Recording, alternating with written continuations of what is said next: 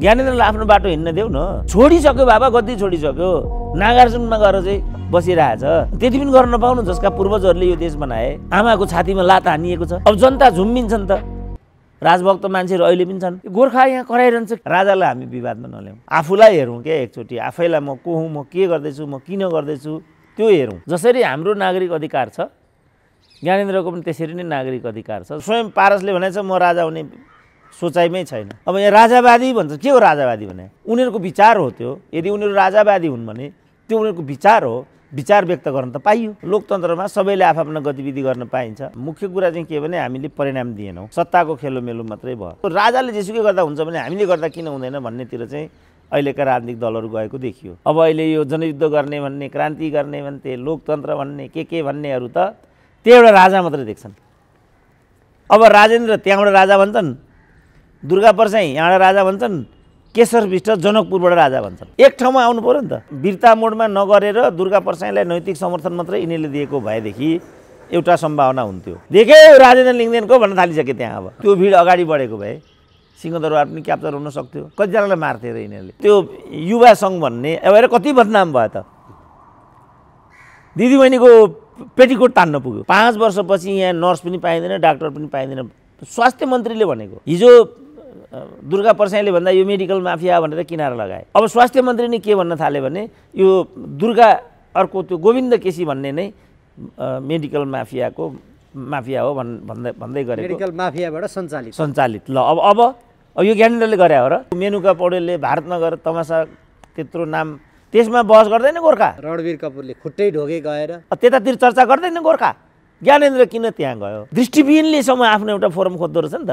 यहाँ बाह्र भाइहरूले हामीलाई रोक्यो होइन? रोक्यौँ त हामी। रवि लामी छाने अर्को साम्पाङ हाम्रो यो बालेन शाह इत्यादिहरू एक ठाउँमा उभिएर एउटा विकल्पको एउटा ठोस स्वरूप दिन सकेको खण्डमा त्यो उनीहरूलाई चाहिँ चुनौती महसुस हुन्थ्यो। डाक्टर साहब स्वागत छ। ल धन्यवाद। अहिले विभिन्न ठाउँमा च्याखे थापियो भन्ने कोणबाट काङ्ग्रेसका एकजना नेताले बोल्दैछन्। राजाले च्याखे थाप्ने होइन बरु चुनाव लड्दा हुन्छ भन्दैछन्। झापातिर राज संस्थाको पक्षमा जुन खालको माहौल देखियो र काठमाडौँमा पनि जुन खालको परिस्थिति सिर्जना भइरहेको छ कि राजाले च्याखे थापेका हुन् अथवा परिस्थिति त्यो दिशातर्फ उन्मुख भएको डाक्टर साहब होइन यो राजालाई केन्द्रबिन्दु बनाउने जुन अभ्यास देखिराखेको छ नि पछिल्लो चरणमा मलाई त्यो आवश्यक हो भन्ने लाग्दैन क्या? हाम्रो यो व्यवहारले राजाको कुरा चाहिँ विषयवस्तु बनेको अब दुर्गा पर्साई आयो राजै देख्ने राजेन्द्र लिङ्गदेन आयो राजै देख्ने वीरता गयो राजै देख्ने मन्दिर गयो राजै देख्ने भारत गयो राजै देख्ने यो जहीँ पनि राजा देख्ने चाहिँ रतन्द हो गोर्खालाई कसरी लाग्न पुग्यो मैले यो बुझिनँ। उनीहरूको आफ्नो यो अपराध बोधले नै त्यस्तो भएको भन्ने कुरो त म बुझ्छु होइन? तर उनीहरूले किन चाहिँ विगत र घटनाबाट इतिहासबाट सिक्दैनन्? त्यो चाहिँ म बुझ्दिनँ के? सिक्नुपर्ने नि घटनाबाट त। राजाले चाहिँ स्वेच्छाले आफ्नो गद्दी छोडिदिएको छ। एउटा सुती खेती गरी एउटा कुना बसेर खाइरहेछ। युवराज चाहिँ एउटा के भन्ने अब? लेमेन जस्तो भएर सडकमा चाहिँ जटा पालेर हिँडिरहेछ। युवराज्ञी समाजसेवा भनेर हिँडिराखेकी छिन्। नवयुवराज पढ्न कहाँ लाउरेबाट अमेरिका गयो कि ब्रिटेन गयो? थाहा छैन। गोर्खा यहाँ कराइरहन्छ किन यो रतन्दो भएको? होइन राजन्दो किन भयो? यो मैले बुझिनँ कि? यसको केही पनि अर्थ छैन। जसरी हाम्रो नागरिक अधिकार छ ज्ञानेन्द्रको पनि त्यसरी नै नागरिक अधिकार छ। जसरी आफ हाम्रा चाहनाहरू छन् उनका पनि आफ्ना चाहनाहरू छन्।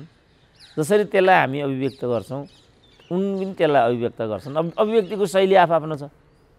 अनि त्यसमा चाहिँ च्याखे थाप्यो। अनि त्यसमा चाहिँ भारत गयो मन्दिर गयो। त्यो किन भनिरहनु पर्यो मैले बुझिनँ। अहिलेको जुन खालको यो उकुस मुकुस र पछिल्लो समय हेर्ने भने जम्मा अठाइस हजार रुपियाँको लागि पनि आत्महत्या गर्न सक पर्ने परिस्थिति समग्र देशभित्रै हेरियो भने पनि बाइस खर्बभन्दा माथिको सार्वजनिक ऋण त्यो दिशातर्फ नगइकन प्रतिगामी र राजालाई ल्याएर जोडेर राजनीतिक दलहरूले आफैले यो खालको परिस्थिति सिर्जना गर्न खोजेका हुन्। होइन यिनीहरू मैले भने हामीले विषयवस्तु बनाएर पनि होला अब आजभोलि मिडिया पनि धेरै भए। होइन मै डेली बोलिरहेको हुन्छु। होइन त्यसले पनि होला। यो यसलाई व्यवसाय बनाउनु पर्ने बाध्यताले पनि होला। होइन अब माल बिक्री भए पनि नभए पनि पसल त खोल्नु पऱ्यो त्यसले पनि होला। अब पहिला जस्तो हाम्रो पालामा जस्तो दुईवटा तिनवटा साप्ताहिक हुन्थे गुखापत्र भन्ने एउटा हुन्थ्यो त्यो गुखापत्र भन्ने कसैले पढ्दै पढ्दैन फोहोरी पत्रिका भइगयो त्यो अनि पन्ध्र दिन दस दिन पर्खेपछि त्यो साप्ताहिक विमर्श भन्ने एउटा पत्रिका निस्किन्थ्यो। अनि त्यो पढ्न चाहिँ मान्छेहरू लाइनमा लागेर उभिएका हुन्थे क्या। म एकचोटि धरान पुगेको थिएँ। साप्ताहिक विमर्श आउने पसल रहेछ एउटा। त्यो पसलको पसलले चाहिँ उत्तर दिँदा दिँदा त्यो दिक्क भएर होला सायद। भित्तामा चाहिँ साप्ताहिक विमर्श आइपुगेको छैन। भनेर लेखेको हुन्थ्यो के सूचना? अब अहिले त अब यो पन्ठा यिनी छरर आउँछ उताबाट युट्युब बनाएछ यताबाट फेसबुक बनाएछ यताबाट बाह्र भाइका पत्रिकाहरू भए हजारौँ चाहिँ एफएम छन्। सयौँ टिभीहरू छन् युट्युब च्यानल चार हजार कि चौध हजार भन्ने सुन्दै थिएँ। त्यसले पनि अलिकति यस्तो भएको हो कि के हो? होइन भने कोही पनि मान्छेले आफ्ना विचारहरू आफ्ना कार्यक्रमहरू आफ्ना गीत सङ्गीतहरू ऊ मेनुका पौडेलले भारतमा गएर तमासा त्यत्रो नाम त्यसमा बहस गर्दैन गोर्खा। किन उसले यहाँ लखेटेर मेनुकालाई त्यहाँ पुर्याएको छ। मेनुकाले नाम कमाएकोमा यसलाई चाहिँ क्रोध छ क्या? किन अर्काले नाम कमायो दाम कमायो भने त एकदम रिस उठ्छ नि त यिनीहरूलाई। त्यत्तिका स्रष्टाहरूले गएर ढोगिरहेछन् अब रणवीर कपुरले खुट्टै ढोगे गएर। त्यतातिर चर्चा गर्दैन गोर्खा। ज्ञानेन्द्र किन त्यहाँ गयो? त्यस कारणले यो परपीडाको धन्दा छोडौँ होइन? आफूलाई हेरौँ क्या एकचोटि। आफैलाई म को हुँ म के गर्दैछु म किन गर्दैछु त्यो हेरौँ। उनीहरूले चाहिँ आफूले चाहिँ जागे उनीहरूले जे गरे नि हुने बहत्तर करोड त प्रचण्डले विदेश घुमेर सिद्ध्याए भन्ने छ। कस्तो परिवारवाद छ? त्यो राजतन्त्र होइन आधुनिक राजतन्त्र हो त्यो। पुरातन राजतन्त्र चाहिँ अब स्वयं पारसले भनेको छ म राजा हुने सोचाइमै छैन। अब यहाँ राजावादी भन्छ के हो राजावादी भने? उनीहरूको विचार हो त्यो। यदि उनीहरू राजावादी हुन् भने त्यो उनीहरूको विचार हो। विचार व्यक्त गर्न त पाइयो। अनि त्यसैमा आत्तिनुपर्ने कुरा के छ म बुझ्दिनँ। बेकारको कुरा हो फाल्तु कुरा हो। लोकतन्त्रमा सबैले आफ्ना गतिविधि गर्न पाइन्छ आफ्ना विचार व्यक्त गर्न पाइन्छ चुनावमा प्रतिस्पर्धा गर्न पाइन्छ सबै कुरा पाइन्छ। त्यो त्यति हो नियम कानुनको परिधिभित्र रहेर ती सबै कुरा गर्नुपर्छ। प्रचलित नियम कानुनभन्दा पर चाहिँ जाने हो भने सोचेरै जानुपर्छ जस्तो माओवादीले प्रचलित नियम कानुन विरुद्धै लागेर त्यत्रो बबन्डर गरेको थियो नि त। तर उसको माथि टाउकाको मूल्य पनि तोकिएको थियो। मानिलिउँ ज्ञानेन्द्रले पनि त्यही गरे भने भोलि टाउकाको मूल्य पनि तोकिन्छ। अहिले नियमसङ्गत रूपमा जानपर्ने एउटा पाटो हो तर त्यो आठ गतेको दिन तिन कुनेमा सर्वसाधारण पसल खोलेर बसेका चिया खान जम्मा भएका ढाका टोपी चाहिँ देख्नै नहुने गरेर कराप झ्याप बनाउँदै लग्दै हाल्दै त्यहाँ चाहिँ जुन हिसाबको राज्य आतङ्कै सिर्जना भयो भन्ने कतिपयको विश्लेषण छ। एउटा दुर्गा प्रसाई भन्ने व्यक्तिले आह्वान गरेका केही व्यक्ति त्यहाँ गएर प्रदर्शन गर्दाखेरि राज्यलाई टाउको दुखाइ हुनपर्ने परिस्थिति हो र त्यो दिनको परि असरल परिस्थिति त्यसरी देखा डाक्टर साहब त्यो खेदजनक छ। तर उसले त्यो क्षेत्रलाई निषेधित भन्यो। अब निषेधित क्षेत्रमा जान त पाइएन फेरि। त्यो प्रचलित नियम कानुन भनेको चाहिँ त्यो नि त। अनि अघिल्लो दिन युवा सङ्घले गर्दा निषेधित नहुने हामीले गर्दा निषेधित हुने भन्ने पनि उनीहरूको तर्क छ। अब त्यो चाहिँ प्रशासनले उत्तर दिनुपर्ने कुरा हो। मैले गृहमन्त्रीसँग कुरा गर्दाखेरि चाहिँ दुर्गा प्रसाईले घर घरमा थुतेर नेतालाई निकालिन्छ सिंहदरबार क्याप्चर गरिन्छ भनेको हुनाले यो गरेको हुँ। शान्ति सुरक्षाका दृष्टिकोणले म यो गर्न बाध्य भएको। अन्यथा त्यो गर्ने कुरा थिएन भन्नुभएको थियो। गृहमन्त्रीले मलाई नै फोन गर्नुभएको थियो। किन तपाईँले यसरी चाहिँ रोकटोक गर्नुहुन्छ? तपाईँहरू क्रान्तिकारी भन्नुहुन्छ। भोलि अर्को पनि सरकारमा आउँछ अर्को पनि गृहमन्त्री हुन्छ। त्यो बेला तपाईँहरू यस्तो चिजलाई कसरी हेर्नुहुन्छ त? भनेको थिएँ मैले। त्यो भन्दा चाहिँ उहाँले यो कुरा भन्नुभएको थियो। अब यो कुरामा म पर्न चाहन्न किनभने उनी कोण प्रति कोण मैले उभ्याइदिएँ। जानु अन्यथा हो भन्न ठान्दिनँ म। तर यो तर्कको आधारमा उसले चाहिँ निषेधाज्ञा जारी गर्यो त्यो क्षेत्रलाई। निषिद्ध घोषित गर्यो। अब निषिद्ध घोषित गरेको क्षेत्रमा कोही पनि आयो भने त त्यो त्यसलाई नियन्त्रण गर्न बसेको सुरक्षा संयन्त्रले त कडी कडाउ गर्ने नै भइहाल्यो। अब त्योभन्दा पर त्योभन्दा बाहिर किन हो कसरी हो त्यो मैले भन्न सक्ने कुरा हुँदैन। डाक्टर साहब अब हजुरको विचार वस्तुनिष्ठ तौरबाट समाजले सुन्छ पनि र त्यसलाई कतिपय मनन पनि गरिरहेको परिस्थिति हुन्छ। आजको दिनको जुन खालको परिस्थिति छ राजा मियोको रूपमा नभएर हो राप्रपाले भने जस्तो दुर्गा प्रसादले भने जस्तो अथवा यो राजनीतिक दलहरूले अप्नाइएको कार्यप्रणाली त्यसभित्रको यो संहिताले दिएको खर्च सिस्टम अनि त्यहाँभित्र जनता प्रताडित हुनु परेको वेदनाको हो डाक्टर साहब। यो यो तपाईँले त्यो भन्नुभएका सबै कुराहरू यसमा अन्तर्निहित छन्। मुख्य कुरा चाहिँ के भने हामीले परिणाम दिएनौँ। अब जे गर्छौँ भनेका थियौँ त्यो पनि हामीले गरेनौँ। सत्ताको खेलोमेलो मात्रै भयो। अघि मैले भने राजाको परिवारवाद एक प्रकारले चल्यो। त्यहाँ पनि अधिराज कुमारहरू हुन्थे अधिराज कुमारीहरू हुन्थे। एउटाले त्यो खर्चको विवरण पनि देखाइराखेको थियो। कमसेकम चालिसजना राजाको फुपूसम्म राज परिवार साराको एउटा खर्चको फेरिस्त देखाइराखेको थियो र आजभोलि एउटा भिडियो पनि चर्चित छ। त्यो चाहिँ राजा वीरेन्द्रको विवाहमा भएको खर्च रहेछ। यसले के देखायो भनेदेखि नराम्रो गर्नमा प्रतिस्पर्धा। हामीले तिमीहरूको राजाले जेसुकै गर्दा हुन्छ भने हामीले गर्दा किन हुँदैन भन्नेतिर चाहिँ अहिलेका राजनीतिक दलहरू गएको देखियो। किनभने त्यहाँ पनि परिवारवाद हाबी छ कोइरालावाद हाबी छ देउपावाद हाबी छ। होइन? अब जसरी हिजो अहिले सुजाताको नाम सुनिँदैन नि त? आजभोलि आर्जुको नाम मात्रै सुनिन्छ। यता गङ्गा दाहालको नाम मात्रै सुनिन्छ रेणु दाहालको नाम मात्रै सुनिन्छ। भनेपछि अर्को खालको राजतन्त्र त हो नि यो। तर यसमा प्रतिस्पर्धा गर्दैछ गोर्खा भन्ने मूर्ख चाहिँ। हिजो वीरेन्द्रले चाहिँ दुई अरब खर्च गर्यो भने हामीले बहत्तर करोड किन खर्च गर्नु हुँदैन? हिजो चाहिँ महेन्द्रका चाहिँ शाहजादाहरू थिए जेठी सासूहरू थिए फुपाजुहरू थिए भने हाम्रा किन हुँदैनन् भन्नेमा लड्दैछ। यो विषयवस्तु होइन। विषयवस्तु चाहिँ के हो भने समाजलाई कसरी चाहिँ शिष्ट सौम्य समृद्ध स्वचालित बनाउने जहाँ कसैले ह्यारेस हुनु नपरोस्। जहाँ कसैले दुखित हुनु नपरोस्। त्यो हिजोको दुर्गा पर्साईवाला कुराको तपाईँले प्रसङ्ग झिक्नु भएको थियो त्यहाँ एकजना महिला प्रतिकार गरिरहेछ नि हिजो तिमीहरूलाई पनि त जिउँदै जलाएको थियो नि त माओवादीले। कस्तो लाग्छ अहिले? सम्झना हुँदैन त्यो? तिमीरा पनि परिवारजनहरूको दुःख पीडा होला। अनि आज तिमीहरू नै हामीलाई लखेट्ने? भन्दै थिए। अब अब अझ एउटाले त के भन्दै थियो? एक दुईजना माओवादीले पनि मार्यो होला। सत्र हजार नेपाली सेनाले मार्यो भनेर एउटा फेरि त्यहाँ ओकल्दै थियो। अब यो त यसले के देखायो भने कोही पनि सच्चाइमा उभिन तत्पर छैन नेपाली।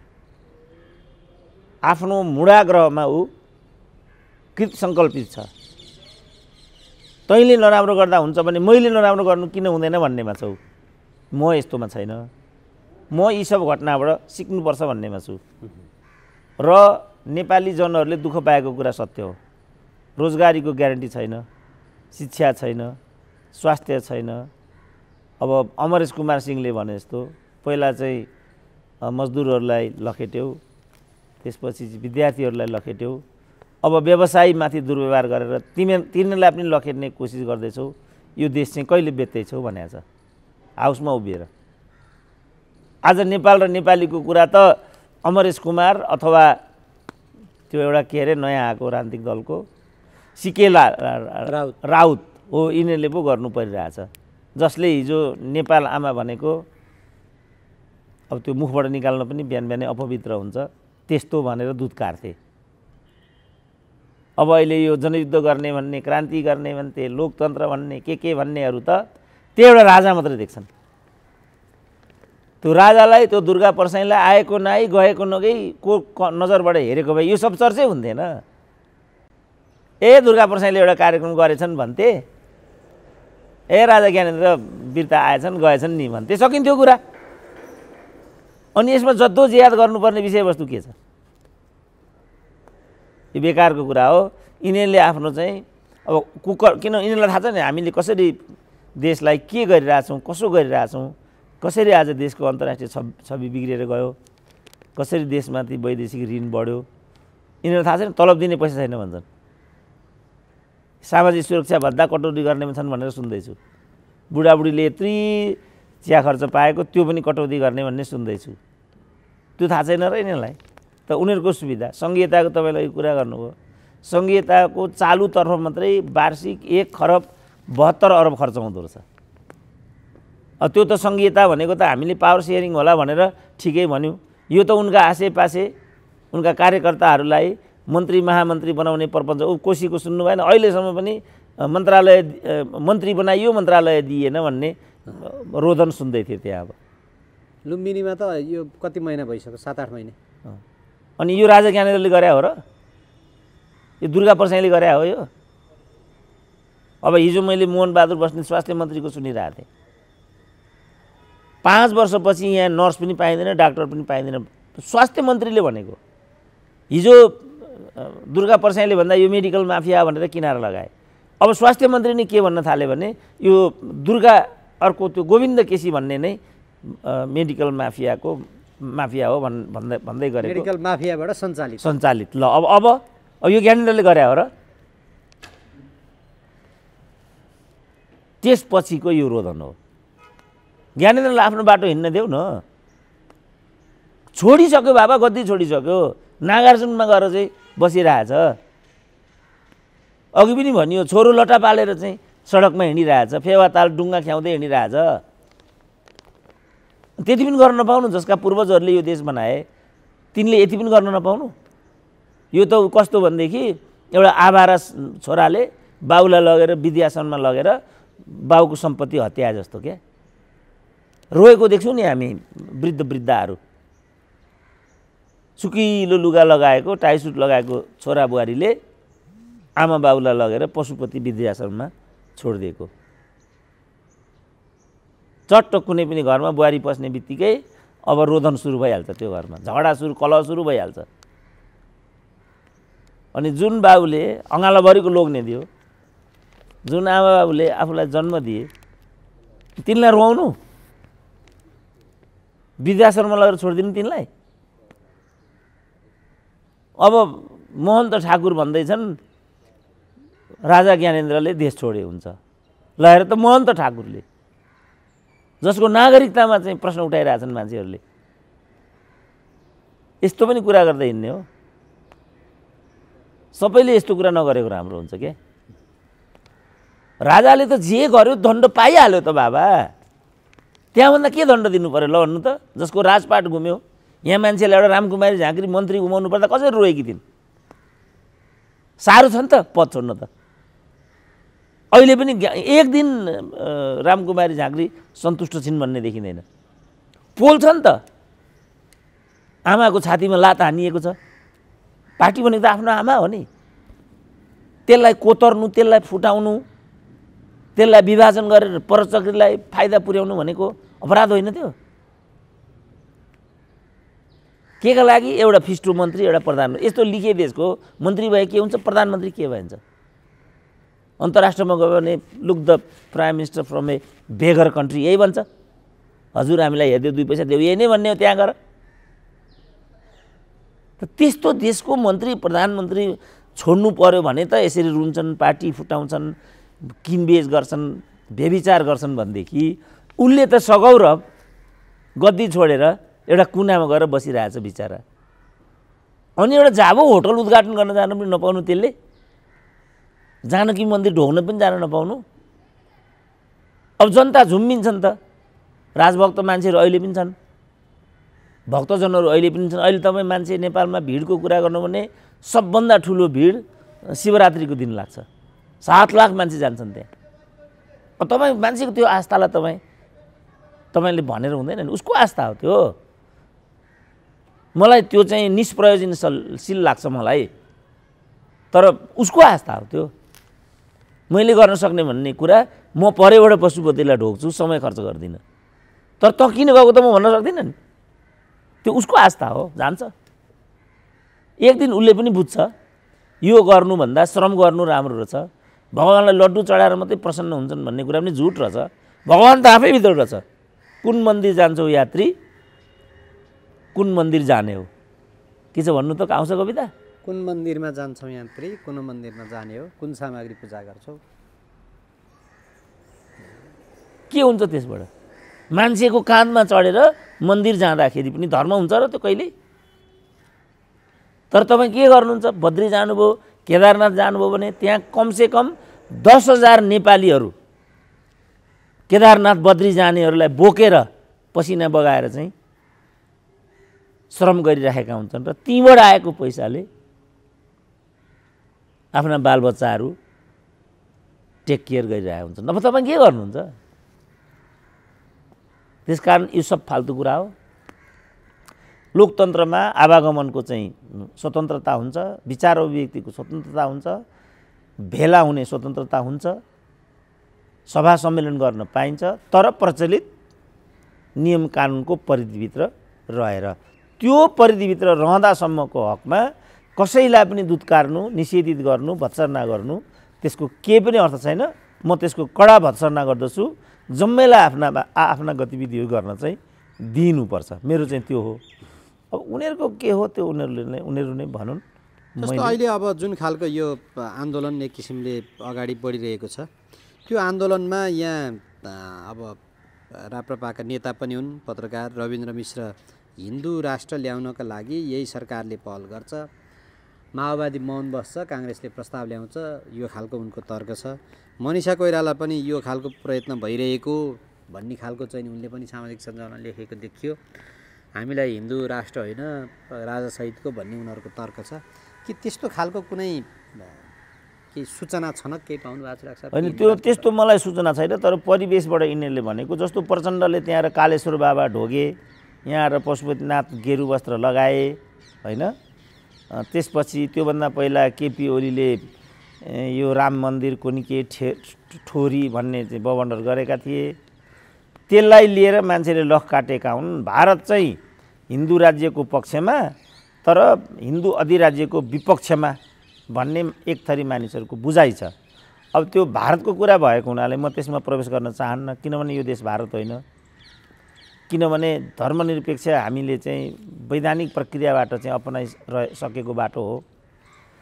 अब म चाहिँ नियम कानुन विधानको संविधानको पक्षमा भएको हुनाले अहिले जे संवैधानिक व्यवस्था छ मेरो चाहिँ त्यही हो। अब मनिषा रविन्द्रहरूले के भनेका हुन् त्यो उनीहरूले जानु त्यसो भए यतैपट्टि हेर्दाखेरि राख्छ अहिले यो जुन खालको परिस्थिति त्यहाँ झापामा त्यहाँ राप्रपाले जसरी त्यहाँ मान्छेहरू त्यहाँ उत्रिए त्यसलाई उनीहरूले लिएर गर्व गर्ने दुर्गा प्रसाईले काठमाडौँकोलाई लिएर गर्व गर्ने केशरबहादुर विष्टको अब जनकपुरमा हुँदैछ दस गते यो गर्व गर्ने त्यो उहाँहरू छुट्टा छुट्टै एउटा एउटा टुकडी देखाउने त्यसैमा चाहिँ नि अब चाहिँ माहौल आयो भन्ने कोणबाट आत्मरतिमा हुनुहुन्छ कि अथवा त्यस्तो के हो राख्छ यो पाटो त्यहीँबाट सबैभन्दा माहौल बिग्रिएकै त्यसैले हो नि त।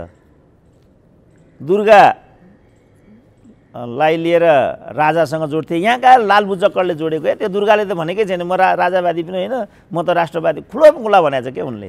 राजा को हुन्छ मलाई थाहा छैन तर यो व्यवस्था चाहिँ जान्छ भन्ने उनको होइन? अब उनले चाहिँ यिनीहरूले त राजावादी हो भनेर न प्रश्न उठाएको थियो। व्यवस्था फेर्ने कुरामा त अब माओवादीले चाहिँ जनयुद्ध गर्न पाउँछ संसदीय व्यवस्था फान्न पाउँछ भने कुनै अर्कोले आफूलाई मन परेको व्यवस्था ल्याउँछु भन्न पाइँदैन र। कम्युनिस्ट पार्टीहरू पनि हामी साम्यवादीमा जाने त भन्दै नै छन् त। उनीहरूले पाउने अनि कुनै अर्कोले म राजा ल्याउँछु भन्नु नपाउने त्यस्तो कुरा हुन्छ र। तर यिनीहरूले भन्दैमा कम्युनिजम आउने उनीहरूले भन्दैमा राजतन्त्र आउने त्यस्तो कुरा हुन्छ र हुँदै हुनै सक्दैन त्यस्तो कुरा। आफ्ना विचारहरू हुन् प्रकट गर्न पाइयो। जहाँसम्म राजाको कुरा छ राजालाई हटाएको नै राजाको नाममा सुती खेती गरी खाने पदमुखी तत्त्वहरूले गर्दा हो। त्यो अहिले देखिएको छ। अब राजेन्द्र त्यहाँबाट राजा भन्छन् दुर्गा पर्साई यहाँबाट राजा भन्छन् केशर विष्ट जनकपुरबाट राजा भन्छन्। तिन कमल थापा फेरि मकवानपुरबाट भन्ने होला। चार पाँचवटा शक्ति त यहीँ भइसके। यी जम्मैको लक्ष्य भनेको एउटै हो राजालाई सिद्ध्याउने। होइन होला तर परिणामले त्यही देखिन्छ। एक ठाउँमा आउनु पऱ्यो नि त। जस्तो कम्युनिस्टहरू पनि हिजो एक ठाउँमा आएका थिए होइन? आज सोसियल मिडियामा देखिरहेको थिएँ। यिनीहरू के का कम्युनिस्टहरू हुनु यिनीहरू कम्युनिस्ट हुनु कम्युनिस्ट भए देश बनाइहाल्थ्यो नि बनाएर रहेछ। ए एसटी मुनिले भन् बल्ल पो बुझेँ किन पार्टी फुटाएको रहेछ भनेको त। यिनीहरू त नक्कली कम्युनिस्ट रहेछन् भनेर चाहिँ एउटाले त्यहाँ। बाहन्न सालमा मैले पिएचडी गरेको यिनीहरू ठग हुन् भनेर। राजनीतिक बेइमानहरू अवसरवादीहरू हुन् भनेर। बाहन्न सालमा। अब आएर अस्सी सालमा केटो के भन्छ? एसडी मुनिले ठिक भन्यो अब लगाएर त अहिलेहरू यिनीहरूको बुद्धि। अघि भने नि अब यहाँ यता मेनुकालाई उदित नारायण झालाई यहाँ यिनीहरूले फोरम नदिएरै उनीहरू बाध्य भएर त्यता गएका हुन् नि। कोही लाउरे भएर चाहिँ विदेश पुगिरहेका हुन्छन्। कोही कामदार भएर मलेसिया पुगिरहेका हुन्छन्। किन यहाँ वातावरण हुँदैन? हेरेसमेन्ट हुन्छ। तपाईँ यहाँ त मान्छे एउटा कर तिर्न जाँदाखेरि पनि घुस खुवाउनुपर्छ अरे यहाँ। लाइसेन्स लिन जाँदाखेरि कर कार्यालयमा जाँदाखेरि यातायात विभागमा जाँदाखेरि मालपोतमा जाँदाखेरि नापीमा जाँदाखेरि त खुवाउनु पर्यो पर्यो। हजुर म कर तिर्न आएको भन्दा पनि भोलि आउनुहोस् भन्छ। अनि त्यो एनसेलको म भन्थेँ नि साथीहरू मलाई भन्थे एनसेलको सम्बन्धमा मैदानमा उत्रिनु पर्यो भनेर। अनि मैले भने किन मैदानमा उत्रिनु पर्यो एमसेललाई लिएर? एनसेलको साउ चाहिँ पैसाको पोको बुझेर कर कार्यालयतिर हिँडो बाटामा एउटा दलको बिचौलिया फेला पर्यो। तपाईँ त्यहाँ किन जानुहुन्छ? कति तिर्नु छ? चौसठी अरब। अरब हो कि करोड अहिले त बिर्सि पनि सकेँ अरबमा राख्छ अरबै हो? चौसठी अरब। ल किन तिर्नु त चौसठी अरब? तपाईँ चालिसमा कुरा चालिस बुझाउनुहोस्। दस हामीलाई दिनुहोस्। अझै तपाईँलाई चौध अरब फाइदा छ। किन तिर्न जानु जानुहुन्छ भन्दै त्यो बिचौलालाई? अब एनसिल पनि कमाउने त आएको हो नि। लौ भनिदियो त्यही बिचौलियाको हातमा चालिस हालिदियो उनीहरूले बाँडचुट गरे खाए राज्यलाई लुटे। अब दुर्गा प्रसाईले भनेको भनेछ नि त यी साहुहरूले बत्तिस अरब त बिजुलीको मात्रै तिर्न बाँकी रहेछ। अब अहिले प्रचण्डलाई चाहिँ ज्याक लगाउँदैछन् अरे। अब प्रचण्डले के गर्छन्? अब बत्तिस अरब हो भने ठिकै छ तपाईँ चाहिँ नौ अरब तिर्दिनुहोस्। नौ अरब पार्टीको कोषमा जम्मा गरिदिनुहोस्। अझै बाह्र अरब फाइदा अब साहुलाई त। यो तरिकाले चाहिँ उनीहरूले देश लुटिराखेका छन् होइन? अब यस्तो कुरामा हामी केन्द्रित छैनौँ क्या। आफूलाई के फाइदा छ? अब यो बालुवाटारको त्यही भयो नि त। अब बालुवाटारको चाहिँ कृष्णप्रसाद भट्टराईले आवश्यक कारवाही भनेर तोक लगाइदिए। अनि त्यो गिरिजाहरू दबाब दिन थाले। खोइ त्यो किन नगरेको भनेर। दिनको एउटा फोन आउँछ मालपोतमा अथवा नापीमा। अनि त्यो राणा परिवारले नै जग्गा बिचौलियाको अघि एनसेलको जस्तो एउटा बिचौलिया फेला पार्यो। त्यो बिचौलिया जाँदा जाँदै मिनबहादुरको दरबारमा पुग्यो। हजुर यहाँ एउटा सस्तो मस्तो एउटा जग्गा छ लिने कि भन्यो। अब त साहु हो नि त। व्यवसाय व्यक्ति जसरी यी मारवाडीहरू हुन् जो बत्तिस अरब तिर्दैनन् भनेको छ दुर्गा प्रसाईले जसरी चाहिँ एनसेलको साहु हो एन्जाइटा कि के भन्ने छ त्यो? एक्जिएटा एनजिएटा। त्यसरी नै मिनबहादुर पनि हो। नाफा हुन्छ भने ल भइगयो भन्दै उसले लगानी गरिदियो।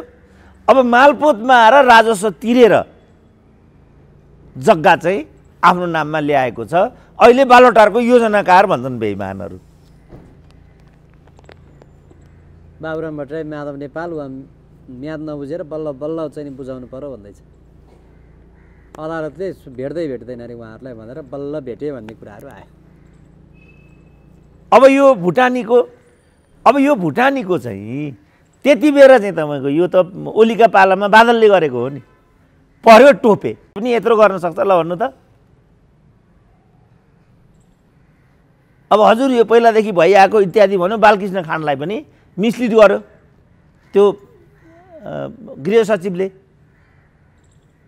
अब किनभने बालकृष्ण खाँड भोलिको काङ्ग्रेसको चाहिँ अध्यक्ष। उसलाई पनि डामेर चाहिँ साँडे बनाएर छोडिदिने हो असनमा। त यसरी त्यसो भने त कसैलाई पनि माखे साङ्लामा हाल्न पाइयो नि त यो चाहिँ गर्न हुँदैन। त्यसपछि मानिसहरूमा एउटा चाहिँ असन्तुष्टि छ। हेट यिनीहरू त हुँदैनन् कि क्या हो? भन्यो अनि दुर्गा प्रसादले झन्डा उठाए। अब त्यहाँ त्यो सहकारीको कुरा निकाले लघुवित्तको कुरा निकाले। अब दुर्गा प्रसादले भनिरहेको कुरा त्यही छ। पाँच दस खरबै भने क्या र? सात खरबको कुरा छ भन्छन् त्यहाँ। अब उनले के भने एउटै व्यापारिक समूहले चाहिँ बत्तिस अरब हत्यायो। होइन? एउटै एन्सलले चौसठी अरब हत्यायो। निमुखा गरिब बिस हजार पच्चिस हजारको चाहिँ ऋण भार छ भने हेरिदेऊ न मैले भनेको यति हो भन्छ। तर यो राजावादी भनेर चाहिँ ती एजेन्डाहरू चाहिँ मिसा के अरे छिनोफानो गरिदिनु डिरेल गर्नको लागि राजावादीले उठाएपछि सबै अपराध हुने भइगयो नि त। यसरी हुँदैन। किनभने म दुर्गा प्रसादले जे भनेको छ अक्षरशः त्यो गर्नुपर्छ भन्ने मेरो कुरो होइन। तर मेरो कुरा के हो भन्दाखेरि सहकारीमा विचलन छ लघुवित्तमा पनि विचलन छ मिटर ब्याजी भनेको नेपालमा ब्याङ्किङ वित्तीय संस्थाहरू हुन्। अहिले यो बनेपाका किसानहरूको अहिले ठुलो एउटा मैले अनेकचोटि भने न्यायाधीशहरूलाई यो फैसला गरिदेऊ न मानेनन्। अब अहिले एउटा भयङ्करको ठुलो भिडियो प्रसारित भएछ र अन्तर्राष्ट्रिय अदालतमा जाने भन्दैछन् उनीहरू। एक रुपियाँ लिएको छैन बिस करोड खाएको यहाँ ब्याङ्कमा ऋण लागिसक्यो। उसले त्यो सुनेकै छैन। त यो कसले गर्दा? आफै सिआइबी राष्ट्र ब्याङ्क ब्याङ्कहरू मिलेर चाहिँ निमुखा किसानहरूलाई अब लगेर जेलमा लगेर ठोसिदिए पन्ध्रौँ वर्ष भइसक्यो अदालतले फैसला गर्दैन। मैले भने गर्दैन फैसला। उनी कहिले फैसला गर्दैन? अब अहिले त हुँदा हुँदा हुँदा हुँदा सर्वोच्च यो न्यायालय पनि पुरै पारिवारिक पकडमा आइसकेको भन्ने चाहिँ अब मान्छेहरू लेख्न थाले। हिजो शाह राणा इत्यादि हुन्थे भने आजभोलि यही नयाँ राजनीतिक दलका नवोदित शाह राणाहरूको परिवार साडु जेठान सम्धि भाइ भतिजो घ्याप्पै उनीहरूले चाहिँ न्यायालय क्याप्चर गरिदिए। अब यस्तो रहेछ भन्यो भने राजावादी भइन्छ? प्रतिगामी भनेको त्यही हो। यसले आज यो सामाजिक अराजकता व्याप्त भएको चाहिँ यो हो। डाक्टर साहब अब यो यस्तो छ भने यसमा सम्बोधन गर्ने दिशामा राजनीतिक दलहरूको भूमिका देखिन्छ कि उहाँहरू खबरदार देखाइदिन्छु भन्ने कोणमा नै जानुभएको देखाइदिन्छु नि उहाँहरू त।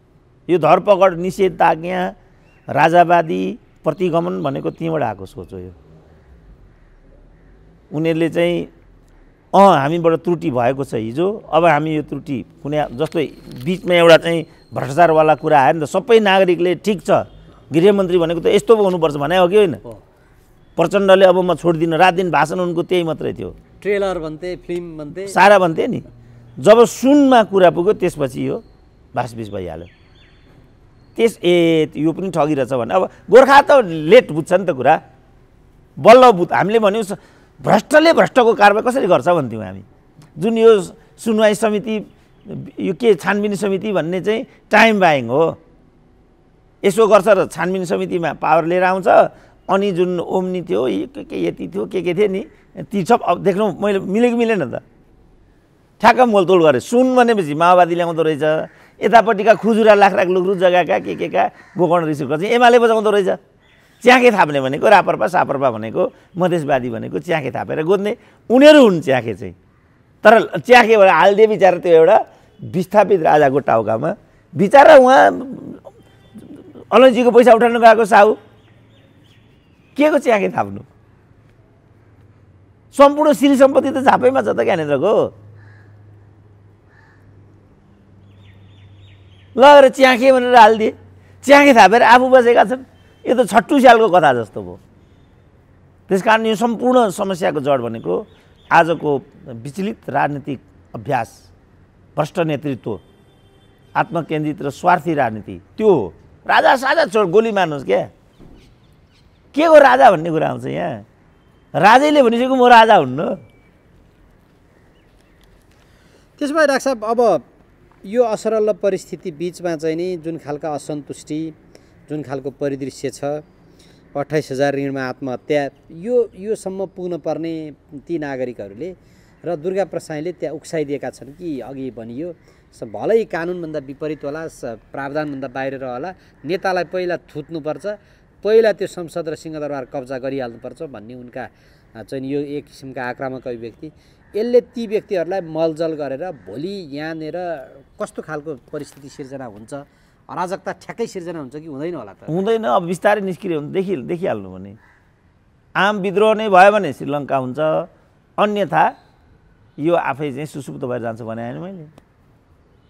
अब अस्ति बल्खुमा अलिकति भेला भएको देखियो। हिजो सिफलमा आउँदाखेरि त पानी सुके जस्तो अवस्था भयो भन्ने भयो। त्यस कारण मैले भने विचार सिद्धान्त व्यवस्थित सङ्गठन र नेतृत्व। त्यो चारवटा कुरा नभइकन कुनै पनि अभियान सफलीभूत हुँदैन। अब जनविद्रोह भनेको चाहिँ श्रीलङ्काको बाटो भन्थेँ नि म। अब घापै चाहिँ यिनीहरू तपाईँहरू नै के भन्नुहुन्थ्यो भने सात लाख आउँछन् दुर्गा पर्साईका भन्नुहुन्थ्यो होइन। भरे पन्ध्र हजारमा सीमित भयो भन्ने कुरा भयो। अब पन्ध्र हजारलाई उनीहरूले बल्खुमै थुनेर राखिदिए। अब मानिलिउँ त्यो चाहिँ सात लाख चाहिएन दुई लाख नै भएको भए कतिजनालाई मार्थे र यिनीहरूले? त्यो भिड अगाडि बढेको भए सिंहदरबार पनि क्याप्चर हुन सक्थ्यो। श्रीलङ्का भनेको त्यो हो। हाम्रो नेपालमा त्यो अवस्था छ भन्ने मलाई लाग्दैन थियो। अब समयले त्यो कुरालाई सिद्ध गरेको छ। चाँडा कुरा चाहिन्छ विचार सिद्धान्त पार्टी सङ्गठन र नेतृत्व। त्यसको कमान्डमा केही कुरा गर्न चाहँदाखेरि बल्ल हुने हो।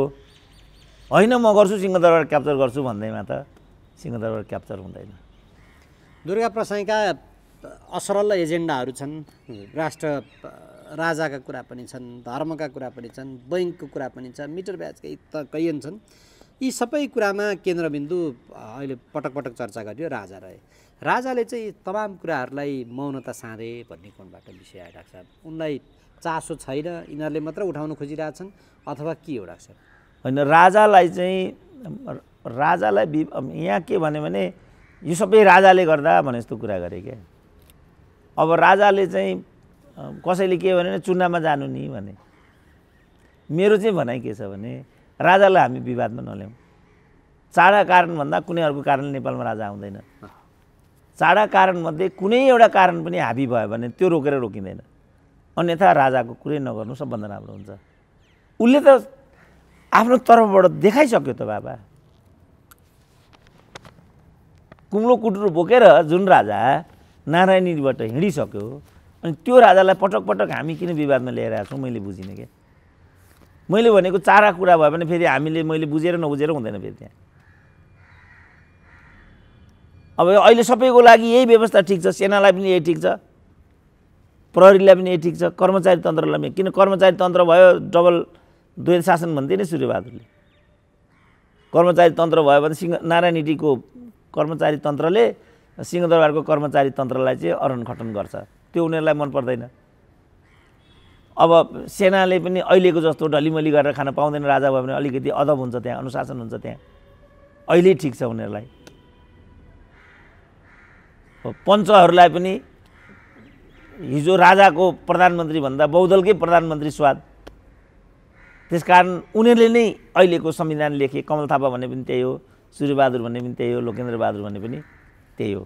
राजेन्द्रै लिङ्गदेन चाहिँ उप प्रधानमन्त्री भए भोलि पनि हुने सम्भावना हुन्छ। राजाको पालामा त्यस्तो हुन्छ र। दरबारीहरूलाई ढोक्दा ढोक्दा ढोक्दा ढोक्दा एउटा कुन ल त सहायक मन्त्री भनिदिन्छ। तँलाई यस्तो भनिदिन्छ। अनि उनीहरूलाई त यही ठिक छ त बाबु। कोही पनि राजाको पक्षमा छैन क्या नेपालमा। राजाको नाम भजाएर खान चाहनेहरूको एउटा पङ्क्ति र अन्तर हृदयबाट राजालाई एउटा विष्णुको अवतार ठान्नेहरूको पङ्क्ति होलान्। त्यसमा म जान चाहन्न। त्यो उनीहरूको आस्थाको कुरा भयो। बाँकी कोही पनि राजावादी छैन नेपालमा। चेतना नभएका मूर्खहरू नलीखुट्टा फुकेर राजतन्त्र फर्काउन लागेका भन्नुभयो केपी शर्मा अनि त्यसको उत्तर त प्रचण्डहरूले दिउन्। किनभने हिजो उनीहरू केपी ओली राजा ल्याउनेपट्टि छन्। बैलगाडी चढेर चाहिँ अमेरिका पुगिँदैन केपी ओलीले भनेको भन्थे। अब म भन्थे ओली भनेका त स्वेच्छाचारी व्यक्तिवादी मात्रै हुन्।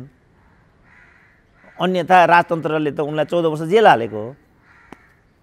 जसले आफूलाई चौध वर्ष जेल ठोस्यो त्यो सिस्टम ल्याउन केपी ओली लाग्छन् भन्दै हिँड्नु बेकार हो म भन्थेँ। अब अहिले यिनीहरू बोल्दैनन् फेरि। त्यसो भएको हुनाले यो के घटक चाहिँ यो खेलमा चाहिँ त्यति धेरै चाहिँ अग्रसर भएको जस्तो देखिएन नि डाक्टर को अरे? सत्ता घटकहरू होइन उनीहरूलाई यो त यो दुर्गा पर्साईलाई मुङ्रो बनाएर एमाले र दुर्गाको बिचमा लडन्त भिडन्त गराएर शक्ति क्षय गराउने चालबाजी हो नि त यिनीहरूको। यिनीहरूले योजनाबद्ध गरेको होइन होला तर परिणाम त्यही हो क्या यसको। एमाले किनभने यिनीहरूको लक्ष्य राजा होइन क्या एमाले हो।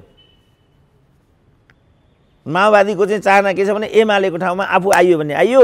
होइन भनेदेखि आइँदैन भने उसलाई थाहा छ। आज एउटा देखिरहेको थिएँ रसुवामा अझै कोही माओवादी छ भनेर। म पन्ध्र वर्ष अगाडि रसुवा पुगेको थिएँ माओवादी मात्रै थियो त्यहाँ। ताप्लेजुङ पुगेको थिएँ माओवादी मात्रै थियो। अब अहिले काठमाडौँ जिल्लामा एउटा वार्ड अध्यक्ष पनि माओवादीले जितेको छैन भनेर म सुन्दैछु। अनि त्यो माओवादीको स्पेस खोइ त? गठबन्धनबाट अलिकति त्राण आयो भने आयो होइन भने समाजवादी पनि सकिन्छ माओवादी पनि सकिन्छ।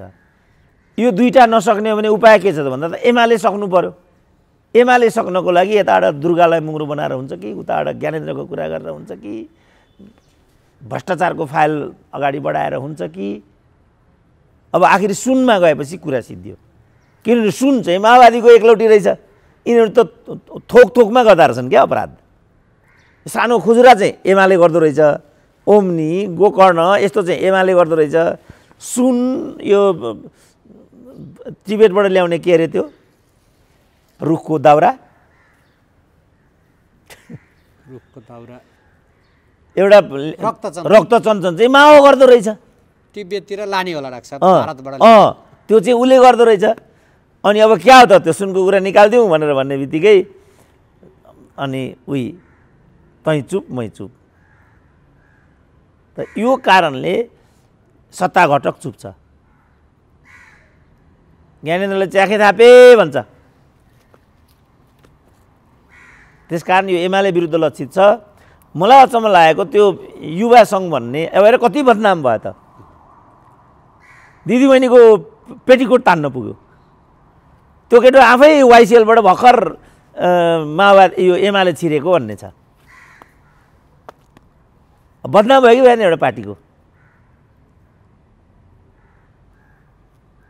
त्यस कारण सत्ता घटक चाहिँ म हुन्छ। अब त्यसो भए डाक्टर साहब यो आगामी दिनमा यो प्रकरण यत्तिकै सेलाउँछ यी कराइराख्ने पहिल्यैदेखि कराएकै हुन् कराइराख्छन् र यसलाई सुती खेती बनाएर खानेले खाइराख्ने अवस्था हुन्छ कि यो चाहिँ विद्रोहको एउटा बिउ रोपिएको छ यो चाहिँ विस्फोट हुने दिशातर्फ जाने हुन्छ तत्काल त विस्फोट होला जस्तो मलाई लाग्दैन किनभने अब वीरता मोडमा नगरेर दुर्गा प्रसाईलाई नैतिक समर्थन मात्रै यिनीहरूले दिएको भएदेखि एउटा सम्भावना हुन्थ्यो। अब सुन्दैछु केशर विष्टको जनकपुरतिर छ अरे होइन? अब दुर्गा प्रसाई यहाँ अब साराको ध्यान झापा पुगिसक्यो। देख्यो राजेन्द्र लिङ्गदेनको भन्न थालिसक्यो त्यहाँ अब। भनेपछि त दुर्गा प्रसाईलाई सिद्ध्याउने रहेछ भन्ने त बुझिहालियो। त्यसकारण मैले लेख्दा तत्काल विस्फोटको सम्भावना छैन। अब हामी जस्तो अनुसन्धान विशेष गर्ने मान्छेले विस्फोटको गौरवी गाउने कुरा पनि भएन। खालि हामीले एउटा सिनारियो देखाइदिने हो। त्यो क्रममा चाहिँ मैले भनेको लोकतन्त्रमा राजनीतिक गतिविधिहरू गर्न पाइन्छ। यसलाई अस्वाभाविक रूपमा लिनु हुँदैन। यसले आफ्नै प्रकारले आफ्नो नियति चाहिँ निर्धारण गर्छ। राज्य त्यति आत्तिरहनु पर्दैन। दुई दिन अगाडि केपी शर्मा ओलीले मध्यावधि हुनसक्छ तयार रहनु भनेर त्यहाँ पार्टी पङ्क्तिलाई निर्देशन दिएको। तत्पश्चात फेरि युवा सङ्घको बैठकमा परिवर्तनको लागि एउटा विशाल आन्दोलन गर्नुपर्ने हुनुपर्छ हुनसक्छ भन्ने खालको अभिव्यक्ति दिनुभएको अवस्था पनि देखिन्छ। यो परिस्थितिमा चाहिँ राजनीतिक दलका नेताहरू स्वयंलाई पनि ओहो बिगार्यौँ कि क्या हो? भन्ने आत्मबोध भएर एउटा अर्को परिस्थिति असर अर्को खालको परिस्थिति सिर्जना हुन्छ भन्नेमा उहाँहरूलाई चेतना छ कि छैन होला लाग्छ यो अभिव्यक्तिहरू सुन्दा होइन उहाँहरूलाई एउटा अवस्थामा त्यस्तो चेतना हुन्थ्यो। यदि भिन्न मतावलम्बी र विकल्पको कुरा गर्नेहरू एक ठाउँ भइदिएको भए जस्तो अघि हामीले रापरपाको कुरा गऱ्यौँ नि राजावादीहरूको कुरा गऱ्यौँ नि तिनीहरू एक ठाउँ भइदिएको भए त्यो एउटा हुन्थ्यो कुरा। अब यतापट्टि पनि रवि लामिछाने हर्क साम्पाङ हाम्रो यो बालेन शाह इत्यादिहरू एक ठाउँमा उभिएर एउटा विकल्पको एउटा ठोस स्वरूप दिन सकेको खण्डमा त्यो उनीहरूलाई चाहिँ चुनौती महसुस हुन्थ्यो। अब अहिले त बिस्तारै तपाईँ त्यही सोसियल मिडियाबाट सारा कुरा गर्ने हो त्यसमध्येको एउटा टिकटक त यिनीहरूले सिद्ध्याइ नै हाले अब यी दुईवटा पनि बढ्ता भयो भने यिनीहरूले रोकिदिन्छन्। नियमन निर्देशिकाको कुरा छ उहाँ प्रेस काउन्सिल अ, जागा जागै छ। जागे जागै छ। जसले चाहिँ नियमभित्र काम गरेको छ उनीहरूको विरुद्धमा फतुवा छ। जसले यसलाई सकेसम्म दुरुपयोग गरेको छ उनीहरूको नामै छैन। त यसरी यो विकल्पको कुरा गर्ने शक्ति विभिन्डिएको अवस्थामा। अब अहिले रवि लामी छानेहरूको पनि उति सुनिँदैन नि। स्वर्णिम वागले स्वर्णिम वागले भन्थे नि यिनीहरू होइन? खोइ सुनिँदैन नि अहिले। यो भयो भने चाहिँ यिनीहरूलाई यसले ठाङ्गले पनि सुन्दैन। बरु उनीहरू चुनावी तालमेल गरेर जान्छन् र ठुला दलहरूको वर्चस्व बनाइरहन्छन्। ठुला दलको वर्चस्वलाई चाहिँ सन्तुलनमा ल्याउने हाम्रो चाहना हो भनेदेखि लाइक माइन्डेडहरूको लार्जर युनिटी आवश्यक छ। त्यो नहुँदासम्म उनीहरूकै ढलिमली हुन्छ जस्तो म डडेलधुराको कुरा भन्थेँ नि। अब डडेलधुरामा एकजना युवा के नाम थियो? सागर ढकाल। सागर ढकाल। मैले भने तिमी त गुल्मीको गुल्मी गरेर लड न। त्यहाँ जानुको मतलब त जोरी खोज्न जाने कुरा हुन्छ। त्यहाँ त कर्णमल्ल पन्ध्र वर्षदेखि लडिरहेछ। त्यस कारण तिम्रो चाहिँ योजना देउपाला जिताउने हुनसक्छ मैले भनेको थिएँ ट्याक्कै पुष्टि भयो। कर्णमल्ल त एउटा सम्भावना हो नि त। नउम्रिँदै किचिपिची बनाइदियो उनीहरूले। अरूले पनि जस्तो यहाँ गगन थापाको कुरा थियो झापामा स्वयं प्रकाश के विश्व प्रकाशको कुरा थियो माथि ताप्लेजुङमा चाहिँ योगेश भट्टराईको कुरा थियो। अब जिल्लै छिर्न नदिने भन्न थालिसके। अब तँलाई भन्न थालिसके। अब भनेपछि यो यसको के हो भन्दा एमालेभित्र ओलीहरूकै वर्चस्व शेरबहादुरभित्र देउपाहरूकै वर्चस्व राखी छोड्ने युवालाई टाउकै उठाउन नदिने यो खेल हो। अब यदि युवाहरूलाई हामीले चाहिँ विकल्पको रूपमा सोचेको हो भने उमेरको कुरा होइन पुस्तान्तरणको कुरा होइन सोचान्तरणको कुरा सोचमा एउटा सृजना सृजनशीलता चाहियो। के कारणले आज हामी पछि पऱ्यौँ त? किन हाम्रो राजनीति व्यवस्थित हुन सकेन? किन सुशासन हुन सकेन? त्यो नभएको हुनाले त आज युवाहरू पलायनमा छन् विश्वविद्यालयका प्राङ्गणहरू खाली छन्। अब स्वास्थ्य मन्त्री नै भन्छन् पाँच वर्षपछि नर्स पनि पाइँदैन डाक्टर पनि पाइँदैन। यही कुरा त दुर्गा प्रसाईले उठाएको यही कुरा उठायो होइन। उनले केही ढाँटेकै छैन। लघुवित्त गरिदियो सहकारी गरिदियो मलाई एफिलिएसन दियो मेरो कुरा यति हो म राजावादी होइन म त राष्ट्रवादी। राष्ट्रवादी पनि हुन नपाउनु। ठिकै बनिरहेछ त। त्यस कारणले यो वास्तविकतालाई बुझियो भने बल्ल विकल्प बन्ने हुन्छ।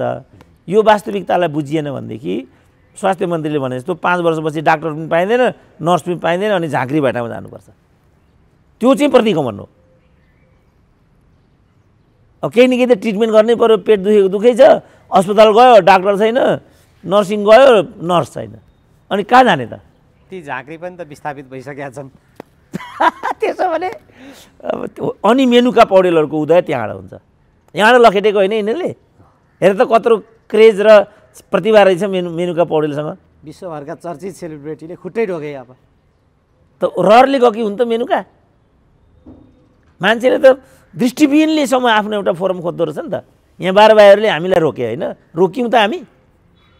अहिले युट्युबको प्रविधि आयो। अनि मैले युट्युबका साथीहरूलाई भने यसलाई दुरुपयोग नगर पछि घानमा परौला भने मानेनन्।